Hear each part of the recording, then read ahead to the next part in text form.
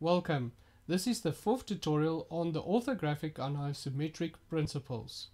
This tutorial will have a more in-depth discussion and look at the first and third angle orthographic principles. In this tutorial we will make use of diagrams to explain first and third angle projection. Like in previous tutorials, we show this page to remind you of the first and third angle projection symbol the diagram for first and third angle, as well as first and third angle isometric symbol. We start our explanation by using a basic 3D isometric block as seen at the top right. At the top left of our screen we have the skeleton of the diagram in first angle orthographic projection.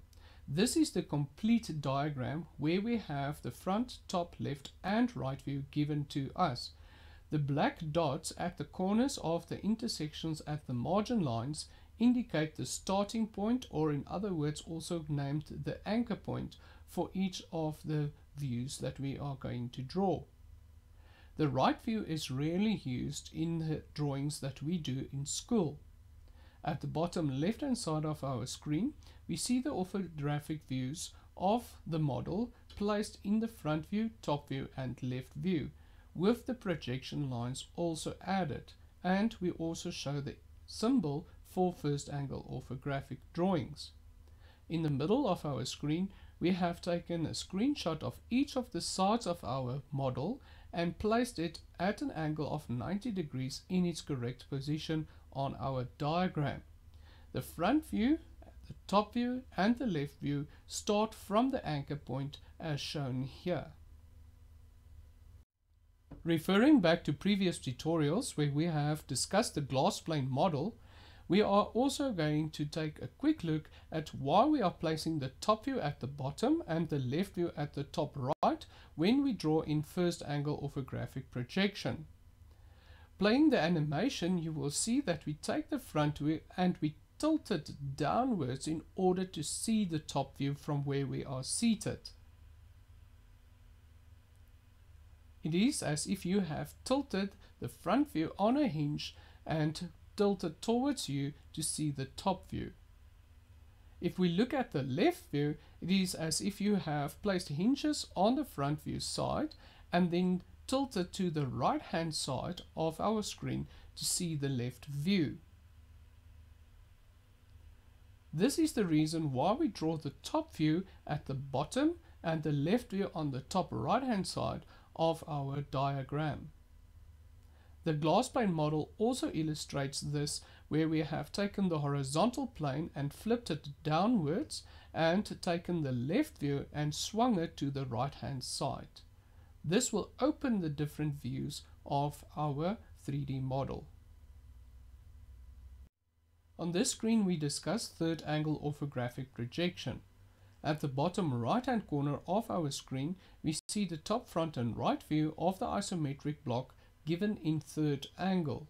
At the top left, we have the skeleton diagram of our orthographic drawing. There we see the placement of the top view, the front view, the right view and left view of an orthographic drawing. In school, we rarely make use of the left view in third angle although it may be asked if needed. Below the skeleton diagram, we see a rough schematic of the top, front and right view given in its positions with construction lines that project from one view to the other. And we also see the symbol for third angle orthographic projection. In the middle of our screen, we have the snapshots of each of the sides of our model. The front view would be at the bottom left anchored to the dot as you can see there as an anchor point or starting point from where we will start the measurement for the front view.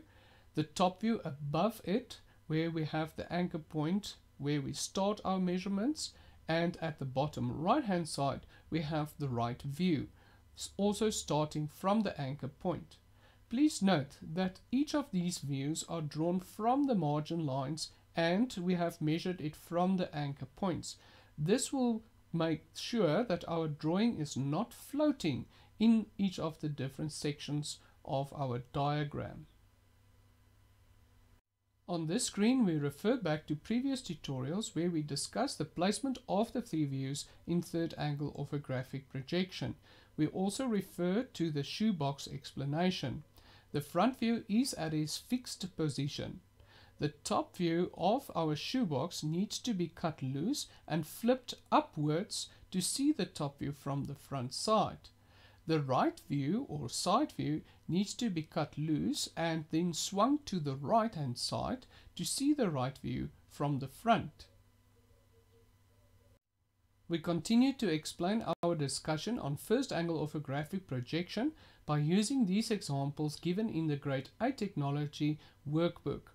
At the top right, we see a basic isometric model with all of the views indicated on the model. At the bottom right, we see a schematic view of that model given in orthographic drawings. And we see the symbol for first angle orthographic projection. Note the placement of each of the views on the schematic drawing. We highlight the front view of our model on the 3D image on the left as well as the front view and the shape that it will give on our front view in the 2D orthographic schematic preview. The top view, as highlighted here, you can see the different levels of the top view. And lastly, the left view with the different levels of the left view indicated in red. Finally, we take a last look at third angle orthographic projection. On the right of your screen you see a basic 3D isometric wooden block. At the top left of the screen we see a schematic isometric drawing of that model and we have labeled each of the levels of the model. At the bottom left we see the placement of each of the individual views given in 2D orthographic where the top, front and right view is indicated on a diagram in its correct position. We also indicate the third angle orthographic projection symbol. When we highlight in green the front view of our model, we also see the green on our front view in the 2D diagram for our orthographic drawing. The top view is indicated in blue and we notice the two levels of our model on the right hand side. But seen from the top, they appear as to be one level. And lastly, we look at the right view, the side view of our model, and we indicate it with red. If you have enjoyed watching this tutorial on orthographic and isometric principles, please visit my website frokitta.com and find many more other tutorials based on the Grade 8 Technology and EGD workbook. Congratulations! You have successfully completed the tutorial.